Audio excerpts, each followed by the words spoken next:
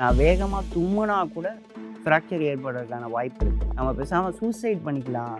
நம்ம சித்தரலாம். எதுக்கு இந்த வாழ்க்கை? என்று அப்போவே எனக்கு வந்து அறுபது லட்ச ரூபா கடன் இருக்குது நம்மளுக்கு நமக்கு வந்து சக்ஸஸ் ஆர் ஃபெயிலியர் நம்ம கையில் கிடையவே கிடையாது. முயற்சி மட்டும்தான் நம்ம கையில் இருக்குது ஒரு மூணு வருஷத்துலேயே வந்து ஜீரோ டு தேர்ட்டி க்ரோஸ் பண்ணியிருக்கேன் என்னால் முடியாதுன்னு சொன்ன விஷயத்த சொன்னவங்க முன்னாடி நான் பெஸ்ட்டாக பண்ணி காட்டுறது தான் உண்மையான வெற்றியாக நான் பார்க்குறேன்.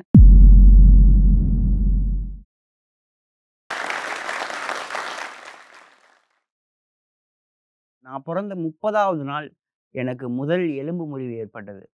எங்கள் பேரண்ட்ஸ்க்கு என்ன பண்ணுறதுனே தெரியல. ஏன் இந்த குழந்தை அழுகுதுன்னே தெரியல. நிறைய டாக்டர்ஸை கூட்டிகிட்டு போனாங்க. டாக்டர்ஸ்க்கே என்ன பிரச்சனைன்னு தெரியல.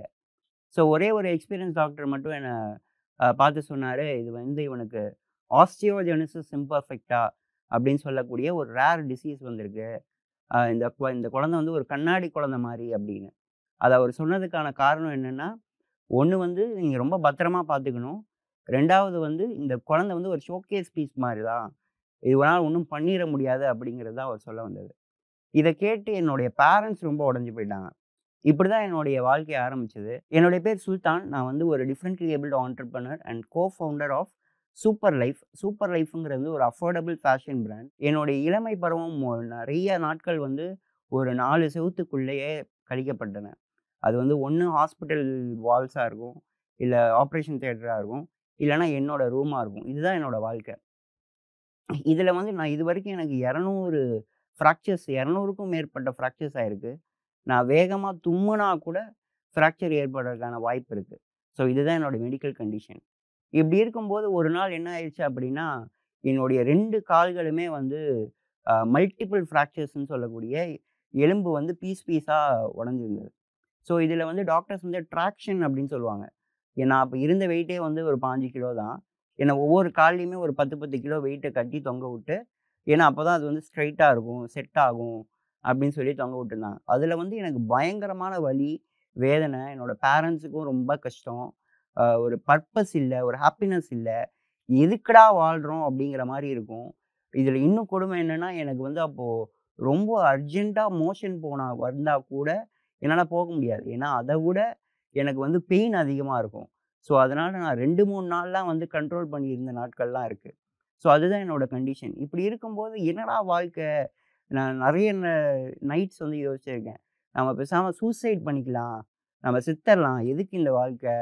அப்படின்னு நினைக்கும் போது அதில் இன்னொரு கொடுமை என்னென்னா அதுக்கு கூட எனக்கு இன்னொருத்தங்களுடைய உதவி தேவைப்படும்.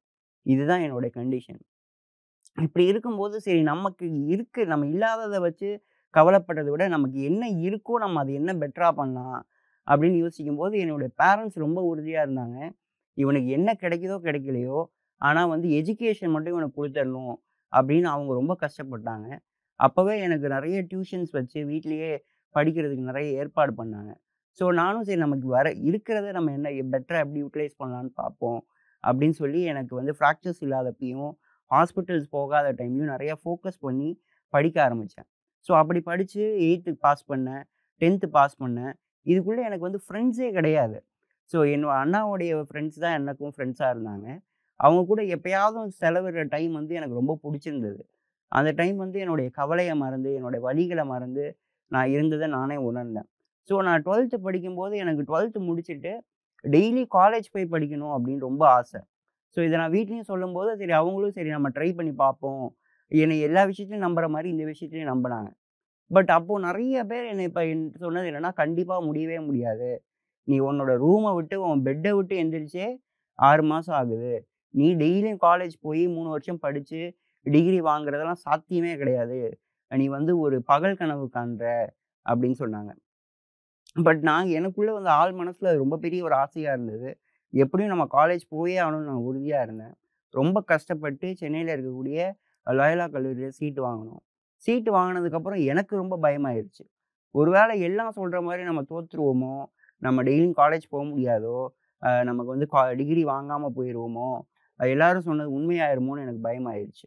ஆனால் என்னுடைய நண்பர்களுடைய சப்போர்ட்டாலையும் என்னுடைய ஆசிரியர்களுடைய சப்போர்ட்டாலையும் எங்கள் காலேஜ் மேனேஜ்மெண்ட்டோடைய சப்போர்ட்டாலையும் ஒரு மூணு வருஷம் கண்டினியூஸாக போய் நான் டிகிரி வாங்க கம்ப்ளீட் பண்ணேன். என் வாழ்க்கையிலேயே முதல் முதல்ல நான் அடைஞ்ச வெற்றி அப்படிங்கிறது நான் டிகிரி வாங்கினது தான் ஸோ என்னால் அன்னைக்கு தான் என்னோட பேரண்ட்ஸ் வந்து ரொம்ப ஹாப்பியாகவும் ப்ரௌடாகவும் இருந்தாங்க. அதை பார்க்கும்போது எனக்கு ரொம்ப சந்தோஷமாகவும் அது ஒரு புது கான்ஃபிடென்ஸையும் குடிச்சது ஸோ இந்த அந்த கான்ஃபிடென்ஸை வச்சு நான் யோசிக்கும்போது தான், என்னுடைய கல்லூரியை தவிர நான் மற்ற இடங்கள் எங்கே போனாலும், என்னை மக்கள் வந்து ரெண்டு விதமாக தான் பார்ப்பாங்க. ஒன்று வந்து அனுதாபமாக பார்ப்பாங்க. இன்னொன்று ஆச்சரியமாக பார்ப்பாங்க.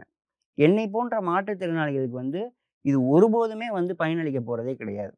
ஸோ நீங்கள் அவங்களோட அக்செப்டன்ஸ் தான் எங்களுக்கு வேணும்.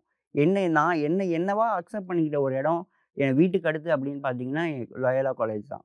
ஸோ அதுதான் எனக்கு ஒரு கான்ஃபிடென்ஸை கொடுத்தது என்னுடைய வெற்றி என்னோட முதல் வெற்றிக்கான அடியாகவும் இருந்தது. ஸோ அதை வச்சு நம்ம இந்த வெற்றிக்கு அப்புறம் நம்ம வந்து தொடர்ந்து ஏதாவது பண்ணணும். நம்மளுடைய அடையாளத்தை மாற்றணும் அப்படின்னு நான் ஆசைப்பட்டேன். சரி நம்ம வந்து ஃபினான்ஷியல் இண்டிபெண்ட்டாக இருக்கணும். நம்ம வந்து வேலைக்கு போகலாம் அப்படின்னு சொல்லி, நிறைய கம்பெனிஸ் கம்பெனிஸ்க்கு நான் இன்டர்வியூஸ் ட்ரை பண்ணேன். அதில் சில கம்பெனிஸ் வந்து என்ன பண்ணுவாங்க அப்படின்னா, ஃபார் நேம் சேக்குக்கு வந்து என்ன செலக்டட்னு சொல்லிடுவாங்க மற்றபடி டேட் ஆஃப் ஜாயினிங்கோ, எங்கே வேலை பார்க்குறது, எந்த ஒரு ஃபர்தர் கம்யூனிகேஷனுமே வராது. இன்னும் சில கம்பெனிஸ் நான் போகும்போது இதை விட கொடுமை என்னென்னா நான் ஒரு கம்பெனி போயிருந்தேன். அது நான் பேர் சொல்ல விரும்பலை போயிருந்தப்போ என் கூட 18 பேர் வந்திருந்தாங்க. மூணு ரவுண்டு வச்சாங்க. 18 பேரும் மூணு ரவுண்டும் அட்டன் பண்ணோம். அதுல கடைசியா 7 பேர் செலக்ட் ஆனாங்க மூணாவது ரவுண்டில் அந்த ஏழு பேரில் நானும் ஒருத்தன். பட் என்னை மட்டும் தனியாக கூட்டிகிட்டு போயிட்டு, உங்களுக்கு மட்டும் நாலாவதாக ஒரு ரவுண்ட் இருக்குது அப்படின்னாங்க. நான் அப்ளை பண்ண ஜாப் ரோலுக்கும், டைப்பிங் டெஸ்ட்டுக்கும் சம்மந்தமே இல்லாத ஒரு ரவுண்டை வச்சாங்க. பிகாஸ் டைப்பிங் டெஸ்ட்டில் நான் ஆப்வியஸாக ஃபெயில் ஆவேன். ஸோ அவங்க என்னை ரிஜெக்ட் பண்ணணுங்கிற நோக்கத்துக்காகவே அந்த டெஸ்ட்டை வச்சு, என்னை ரிஜெ யூ ஆர் ரிஜெக்டட் அப்படின்னு சொன்னாங்க. ஸோ இதெல்லாம் எனக்கு கான்ஃபிடன்ஸ் கொஞ்சம் கம்மியாச்சு. கொஞ்சம் கம்மி பண்ணுச்சு. சரி நம்ம ஏன் நம்ம மற்ற இடங்களுக்கு வேலைக்கு போனால் தானே இந்த பிரச்சனை. நம்ம அப்பாவுடைய பிஸ்னஸே ப பிஸ்னஸ்லேயே ஒர்க் பண்ணலாம். அப்படின்னு சொல்லி அப்பா வந்து அப்போ கார்மெண்ட்ஸ் ஹோல்சேல் பண்ணிட்டு இருந்தாங்க. ஸோ அவங்க ஆஃபீஸ்லேயே நான் வந்து ஒரு சிக்ஸ் மந்த்ஸ் ஒர்க் பண்ணிட்டுருந்தேன் நம்மளே ஒரு பிஸ்னஸ் ஸ்டார்ட் பண்ணலாம் அப்படின்னு சொல்லிட்டு, நான் எங்கள் அப்பாட்ட நிறையா ஃபண்டெல்லாம் வாங்கி, ஒரு ரெஸ்டாரண்ட் பிஸ்னஸ் ஸ்டார்ட் பண்ணேன். ரெஸ்டாரண்ட் பிஸ்னஸ் ஆரம்ப அப்போவே வந்து நான் என் காலேஜில் போட்ட எஃபர்ட்டை விட டபுள் டைம் அங்கே ஒர்க் பண்ணுவேன். எயிட் டூ 10 ஹார்ஸ் வந்து நான் ஒர்க் பண்ணுவேன். ஸோ இனிஷியல் டேஸில் சூப்பராக போயிட்டு இருந்தது. அப்புறம் கொஞ்சம் கொஞ்சமாக அப்படியே சேல் ட்ராப் ஆச்சு. அப்புறம் அப்படியே வந்து எங்களுக்கு பயங்கரமான ஒரு கிராஷ் க கேஷ் க்ரன்ச் ஆகி லாஸ் ஆயிருச்சு. ஸோ ஒரு 10 மாசத்திலேயே அந்த நிறுவனத்தை மூட வேண்டிய சூழல் ஆயிடுச்சு மூடுனோனே எனக்கு மனதளவில் ரொம்ப ஒரு ஒரு கான்ஃபிடன்ஸ் லூஸ் ஆச்சு. ஸோ நான் ரொம்ப கவலையாக இருக்கும்போது எங்கள் அப்பா என்னை கூப்பிட்டு சொன்னார் நம்மளுக்கு நமக்கு வந்து சக்ஸஸ் ஆர் ஃபெயிலியர் நம்ம கையில் கிடையவே கிடையாது. முயற்சி மட்டும்தான் நம்ம கையில் இருக்குது நீ நல்லா முயற்சி பண்ண. நீ நல்லா ஹார்ட் ஒர்க் பண்ண. ஸோ அடுத்து என்ன பண்ணலான்னு பாரு" அப்படின்னு சொன்னார் ஸோ அது சொன்னதுக்கப்புறம் எனக்கு பட் ஆனால் திரும்ப ரிஸ்க் எடுக்கவோ, திரும்ப இன்வெஸ்ட் பண்ணவோ என்கிட்ட காசு கிடையாது. என்ட்ட அப்போவே எனக்கு வந்து அறுபது லட்ச ரூபா கடன் இருந்தது. அந்த பிஸ்னஸ் லாஸ்லேருந்து எனக்கு அறுபது லட்ச ரூபா கடன் இருந்தது. சரின்னு சொல்லிட்டு நான் சரி அப்பாவோட பிஸ்னஸ்லேயே திரும்ப ஒர்க் பண்ணலாம் அப்படின்னு சொல்லி ஒரு சிக்ஸ் மந்த்ஸ் ஒர்க் பண்ணிகிட்டு இருக்கும்போது, அது வந்து ஒரு தீபாவளி டைம். அப்பா வந்து ஒரு கார்மெண்ட்ஸ் ஹோல்சேலர் அப்படிங்கிறனால ஸ்டாக் நிறையா இருந்தது. ஸோ அந்த ஸ்டாக் இருந்தப்போ நான் ஒரு நாங்கள் நானும் அண்ணாவும் உட்காந்து பேசும்போது ஒரு நாள் யோசித்தோம் இந்த ஸ்டாக்ஸை வச்சு நம்ம நம்மகிட்ட என்ன இருக்கோ, நம்மகிட்ட இன்வெஸ்ட்மெண்ட் தான் இல்லை என்ன இருக்கோ அதை வச்சு ஒரு பிஸ்னஸ் பண்ணலாம். அது வந்து கஸ்டமருக்கு பெனிஃபிட்டாக இருக்கணும். அப்படிங்கிற மாதிரி ஒரு பிஸ்னஸ் மாடல் ரெடி பண்ணோம்.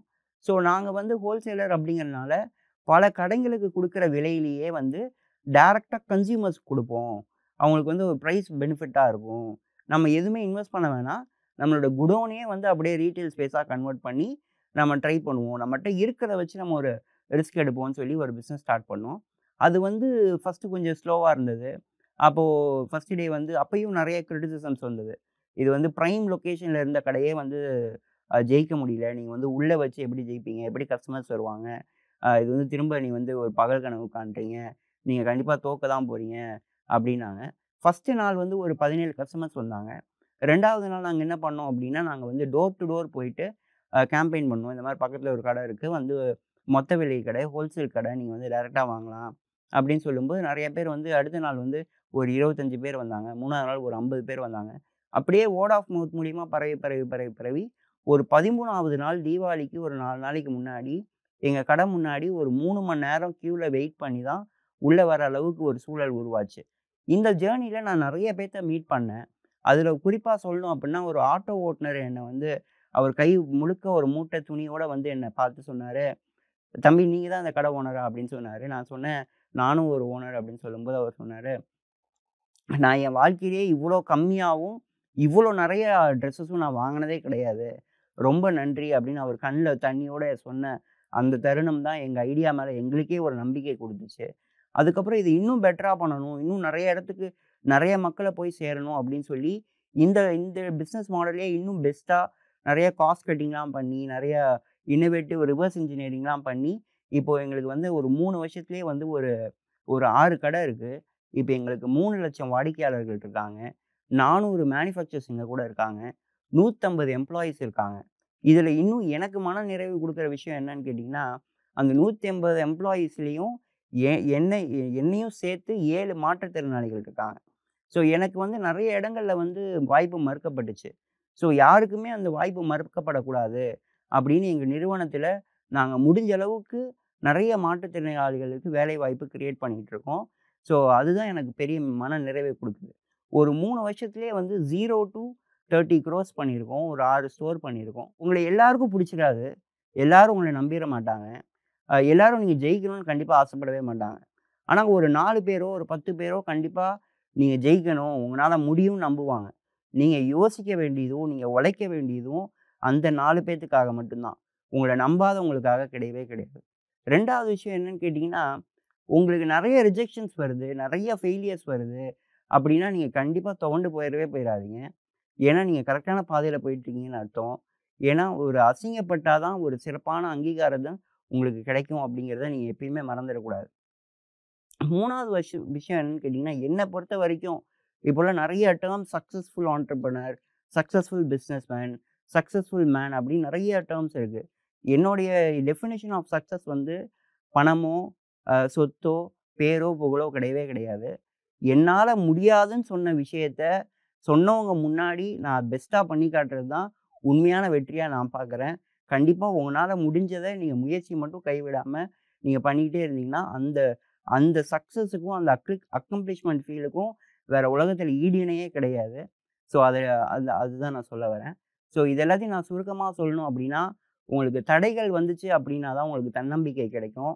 நீங்கள் ஒரு இடத்துல நிற்காமல் சோர்ந்து போகாமல் நகர்ந்துக்கிட்டே இருந்தால் தான் உங்களுக்கு நம்பிக்கை கிடைக்கும். நிறைய அசிங்கப்பட்டால் தான் சிறப்பான அங்கீகாரம் கிடைக்கும். ஜோஸ்டாக்ஸை இப்போது பாட்காஸ்டாக ஸ்பாட்டிஃபையில் எக்ஸ்க்ளூசிவாக கேட்கலாம். இந்த வீடியோ உங்களுக்கு பிடித்திருந்தால் நீங்கள் ஜோஸ்டாக்ஸ் பாட்காஸ்டை ஸ்பாட்டிஃபையில் ஃபாலோ செய்யலாம். இதே போன்ற மேலும் இன்ஸ்பைரிங் கதைகளை ஸ்பாட்டிஃபையில் மட்டும் கேட்கலாம். இந்த வீடியோ உங்களுக்கு பிடித்திருந்ததுன்னா ஃப்ரெண்ட்ஸோட ஷேர் பண்ணுங்க. கருத்துக்களை மறக்காம கமெண்ட்ஸில் பதிவு பண்ணுங்க.